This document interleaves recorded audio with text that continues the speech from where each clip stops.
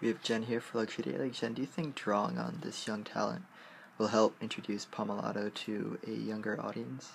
I think so. I think especially because the three videos that the filmmakers made really um, connect the dots between product and creative idea. That it's not really abstract. There's really not much that the consumer is left questioning. They're really well done and really interesting. And I think that because they're straightforward, the consumer won't necessarily have to think about it too hard or watch for you know an extended period of time because they're all pretty short, probably within two minutes. So I think because it's young filmmakers with a brand that many young consumers may not be um, in the know about, they'll get to introduce the brand and show it in a different light than maybe they've already seen it in the past. Thanks, Jen.